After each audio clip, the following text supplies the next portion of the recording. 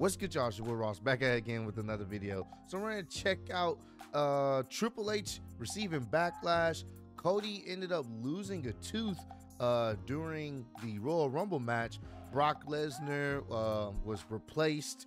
Um, as we ended up seeing, the question is what position? I know some people were saying Pat McAfee replaced Brock Lesnar. I heard other people were saying Bron Breakker replaced Brock Lesnar and other Royal Rumble related wrestling news. Appreciate all the love and support you guys have shown on the channel. We're gonna check this out by Wrestlelamia.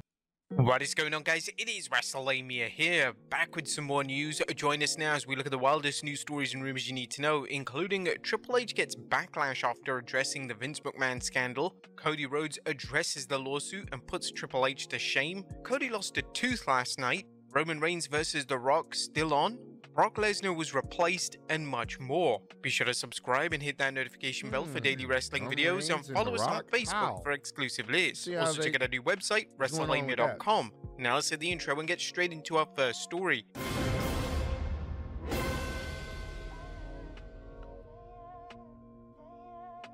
Now, first story looks at Triple H backlash after addressing Vince McMahon's scandal. Our top story today examines last night's Royal Rumble press conference, in particular Triple H's controversial comments when it came to his father-in-law Vince McMahon. It was inevitable that a journalist at the Royal Rumble press conference would ask the head of creative about the Mhm. McMahon lawsuit, and John Elba would ask the game if he had prior knowledge of McMahon's conduct Uh, as yep. disclosed in the lawsuit. Triple H would answer by saying, I'm going to do exactly what you expect me to do here. Look, we just had an amazing week, a 10 year, $5 billion Netflix deal, Rock joining our board. We just sold out the Royal Rumble, put 48,000 people in Tropicana Field. I chose to focus on the positive. Yes, there's a negative, but I want to focus on that and just keep it to that. Triple H was then asked the question of what's being done to make sure people in positions of power can't take advantage of employees, and similarly to his prior answer, the game had very little to say.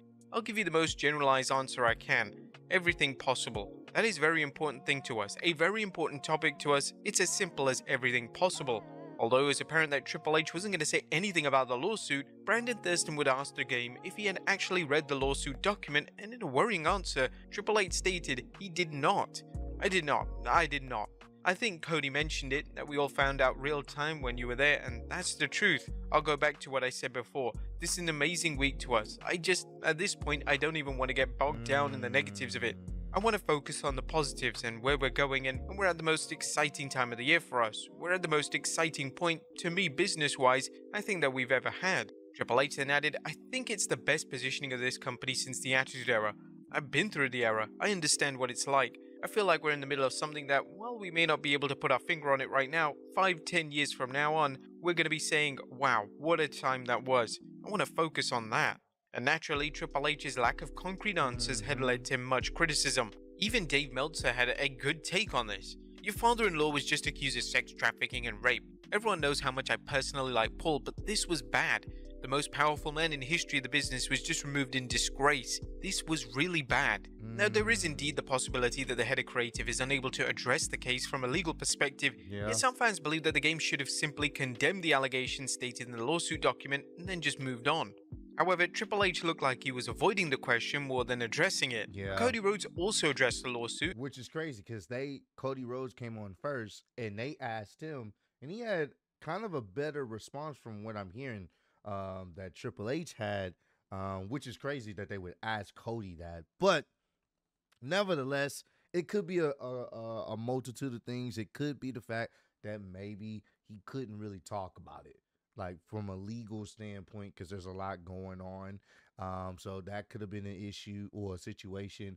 I know for a fact he was trying to focus on obviously the positives of what's been going on in WWE. They just had a, uh pretty successful in a sense of like like people being at the venue, 48,000 people for that Royal Rumble selling out that uh, uh that event. Um so you know, they in their eyes they had a pretty successful week, pretty successful Royal Rumble and he kind of wanted to focus on that. So I get it. Granted, if I want to be honest, is there a better way he probably could have responded to that? You know, yes, you know, without even saying, without even going into detail whether he believes it or not, you know, the allegations that he, you know, that he found out or whatever the case may have been. He could have been could have addressed it in a way where he's not giving too much detail if he knew or anything like that, but just you know kind of condemning what is being said and or what is uh, being rumored to have happened or whatnot. So he could have probably did that better. And I'm still one of those people. I'm willing to bet he had some idea. He may not have known the exact nature of what Vince was doing, but I'm willing to bet he had some notion in his head Vince was probably doing something that he shouldn't have been doing. Even if it's not that particular situation, he's probably seen some stuff where it's like, yo, Vince is wilding, but shit, I'm trying to get into his good graces. I'm trying to be able to make some moves myself. So, and once again, I think around the time that this that this young lady was, you know, dealing with what she was dealing with with Vince, around that time, he was dealing with heart complex uh heart problems. So even if he knew some situations in the past, he was more so focused on his heart, like his physical well-being more than anything else. So it's one of those things. I'm sure he may have known a little bit of what was going on, but didn't have the the greatest details. And once again, he was literally worried about his heart. he wasn't really focused on other stuff other than his health and well-being. I can, I'm pretty sure. So, and he put Triple H to shame. As the 2024 Royal Rumble winner Cody Rhodes was asked by Nick Hausman about the allegations, and unlike Triple H, Rhodes had an appropriate and respectful answer. yeah. I know as far as the news is concerned, we were finding out and reading the same things that you guys were reading. And you said a dark cloud, certainly. As far as TKO, Nick Khan, and the board, they clearly took it very seriously, mm-hmm. acted immediately. Looking at the future, I don't know the answer to that, and I think somewhere is really basic tenet of just this crew more than ever from a roster standpoint is very family. He continued on by Mhm. saying, I've never seen anything like this. Most of the time, wrestling locker rooms are fighting, talking trash about each other, making fun of Mhm. each other, sandbagging each other in the ring, all that nonsense. This crew is very team based, and perhaps that's the ingredient. Everyone is looking out for everyone, being accountable.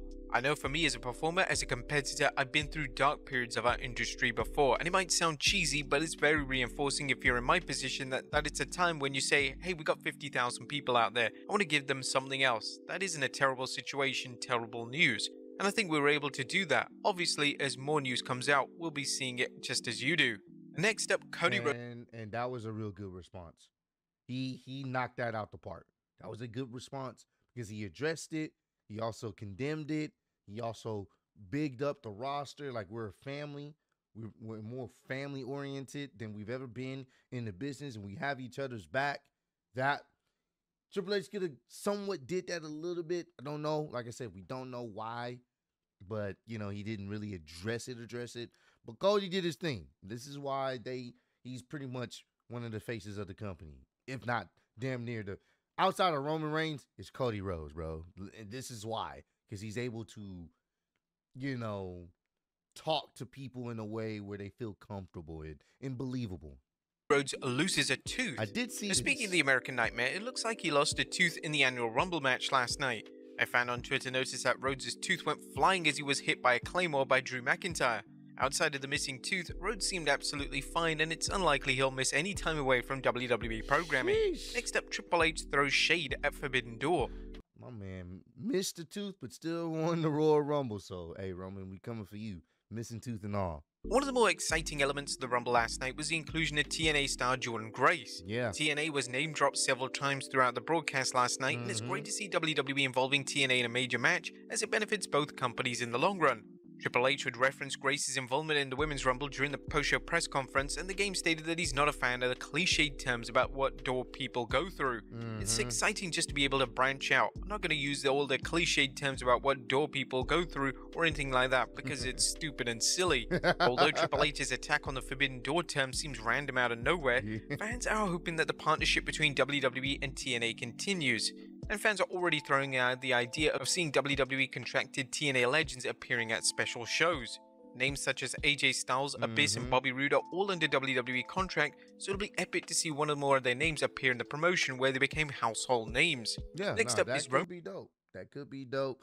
Uh, I, obviously, you know the the AEW diehard fans did not like that comment, and some of them had their fair uh, fair um fair choice of words for Triple H's comments. I wouldn't have taken that that serious. You know I'm saying? To be honest, that's how he views it.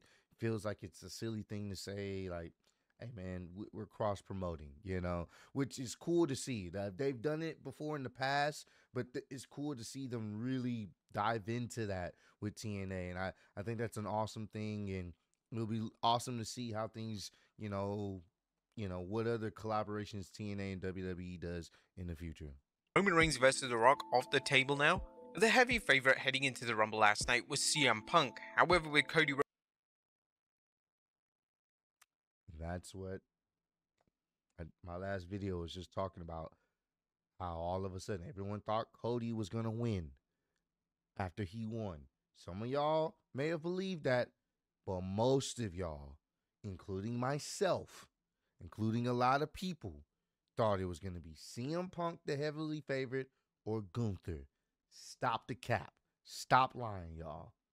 Some of y'all may have been spot on with Cody winning back to back, but they hadn't done that in so many years, and I did not expect them to do that last night. Well, I'm not filming this. Um, it's uh, Monday morning, but I I was not expecting that. So, I'm just saying. Rhodes winning the matchup, this guaranteed that Rhodes will be in a world title match at WrestleMania 40.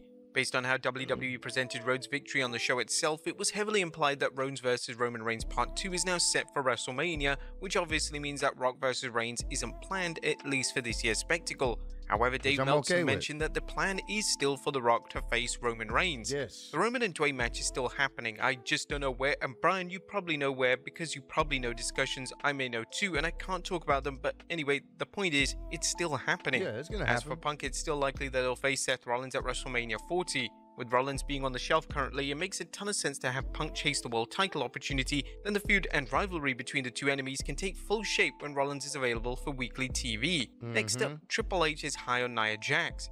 Since Mm. returning to WWE last year, Nia Jax has been presented incredibly well on TV. WWE have utilized their strengths, and for the most part, Jax has had great matches across TV and PLEs. Triple H acknowledged how high he and WWE are on the former women's champion last night on the post-show Rumble press conference. As the game stated that Jax had a fantastic performance in the Rumble match and she's winning people over.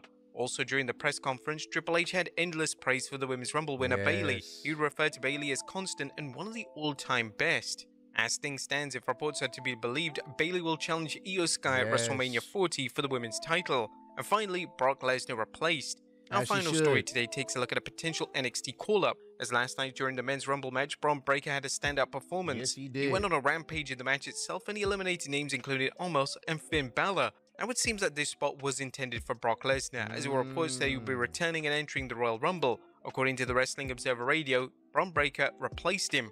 Now Breakker was eliminated by Dominic Mysterio, so was the initial plan Dom eliminating Brock? That would have been huge. Mm. During a backstage would've interview following his appearance, Breakker stated that the main roster is now his home and he has unfinished business with the Judgment Day.